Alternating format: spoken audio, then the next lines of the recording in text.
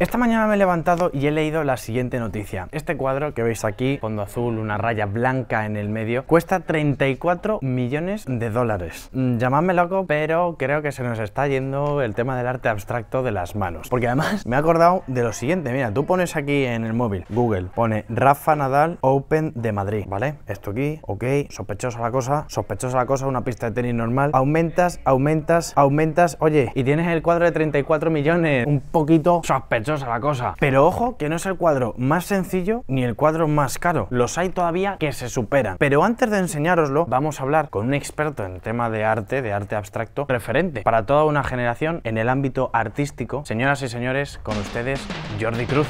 Pues buenas, ¿qué tal? ¿Qué pasa, maníacos? Total, ¿cómo estamos? ¿Todo bien? ¿Has visto esta, este cuadro? Muy bien. 34 millones, ¿te parece? ¿A ti te, parece bien? Hombre, si alguien lo quiere pagar, sí, alguien lo tendrá. Seguro que mi tía no se lo va a comprar, ni yo tampoco. Mira, puedes apuntar las tareas del día y las tareas, no sé. El arte es arte. Y si tú quieres pagar 34, pues... Tú lo ves y no piensas que se están cachondeando. Yo divido, ¿eh? El arte para comercializar, que entonces se lo van pasando unos a los otros y entonces va haciéndose más caro y no sé qué, y entonces ven a ver quién la tiene más grande. De, cuadro. Y luego hay el arte de abstracto que, que, tú al final quieres ver en tu pared. Con esto del arte abstracto vamos a hacerte tres pruebas distintas, rapiditas. Esta primera son tres obras de arte abstracto distintas. Tienes que adivinar el precio. Si tú lo adivinas, yo te dejo luego en COPE, tenemos preparado un plato con nata y tarta, te dejo que me pegas un tarta. Pero es que yo creo que no lo vas a adivinar. Por ejemplo, esto puede ser unos 6.000 euros el primero. Este, esta fotografía de aquí arriba, cuesta 16 millones de dólares. Ah, muy bien. Y es de Lucio Fontana. Lucio, te lo montas muy bien. Vamos con el segundo. Pero esto, bueno, estos son 115 millones, seguro. No, tampoco, no, tanto. Son 75 millones de dólares. Y vamos con el último, a ver si lo aciertas. Yo creo que el último no debe costar nada. Así te la juegas. Sí, ¿Por qué? No debe costar nada. No sé, me da que lo ha pintado alguien para pasarlo bien y no debe costar nada. Bueno, pues el último sí que cuesta, cuesta bastante. Es el que más cuesta, son 85 millones de dólares y es de Jaspar Jones. ¿vale? Jaspar, tú eres el rey. Yo quiero ser el tío. Como tú, de mayor, directamente.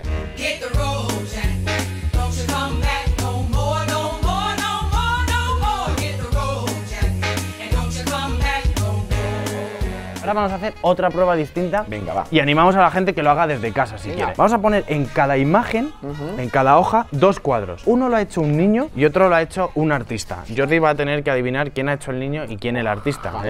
primera imagen. ¿Cuál crees que ha hecho un artista? Yo creo que el de abajo, vamos a hacer el, tonto, ¿no? Igualmente. Por el trazado y por la forma geométrica y por la especificidad, yo creo que el de abajo es por un chaval y el de arriba es por un artista. William de Koning es mm. el que ha hecho el de arriba y el de abajo un niño. ¿Has acertado yo pensaba que. Un niño hace así. Te lo digo yo que he ido a muchas clases de manualidades. Siguiente imagen. Venga, volvemos a lo mismo. O sea, lo están haciendo racionalmente, este es de un chaval y este es de un artista. La respuesta es correcta. no, no, Jordi tiene razón. La de arriba es de un niño y la de abajo es de Sam Francis. Que me he recorrido medio mundo haciendo clases de manualidades. O sea, vamos. Va complicándose la cosa, ¿eh? Artista, niño. Yo creo que esto es de un niño y esto es de un artista. Mira que te digo. No lo sé, ¿eh? No, porque aquí sigo un patrón, un tal, no sé, no sé cuántos. Y es muy difícil que los chavales sigan un patrón si simplemente hacen esto, garabatos. Es mi teoría. Pues la respuesta es correcta, Jordi. Lo está...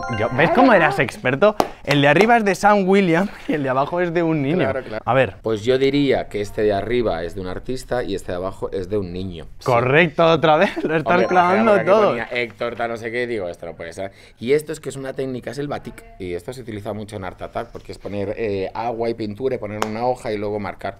Así que el vio Art Attack. No tiene nada que ver con el mejunje esto. No, no, no, no, no, esto no vale, vale, vale. En la redacción de Cope te puedo decir que nadie ha acertado 4 de 4 en la primera, desde luego. Vamos con, con esta. Yo creo que esta sería de un artista y esto de, una, de un niño. Más que nada porque esto lo veo como en un cuadro así como medio gigante, ¿no? Vale, pues la respuesta vuelve a ser correcta. No está preparado. Jordi Cruz, 5 de 5. Un niño el de arriba. Y esta la ha hecho Jason Palok en el 48 y cuesta 140 millones de euros. Venga, aquí. La última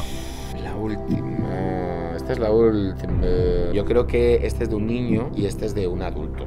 Pero bueno, aquí no lo tengo muy claro porque al ser un garabato así, no sé qué. Podrías hacer pleno. O pero bueno, ya ganando todo lo que he ganado. bueno, ya, pero con un con 6 de 6 ya te vas por todo lo alto. ¿Firmas entonces este un artista, este un niño? Sí, yo digo que sí. ¿Por el pleno? Sí, yo digo que sí. Pues Jordi Cruz ha hecho pleno porque esto es de un artista, es de Sal Chambly. 70 millones de dólares. 70 millones de dólares y esta es de un niño. La última prueba es, vamos a ir a Cope, a la redacción de Cope y vamos a pintar algo, un arte abstracto.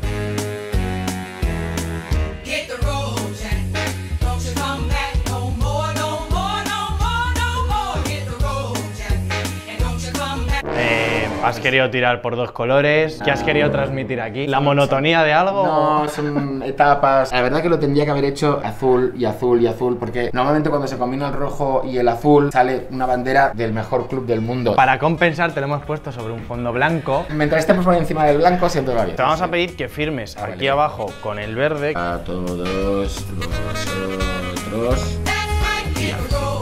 Y ahí queda.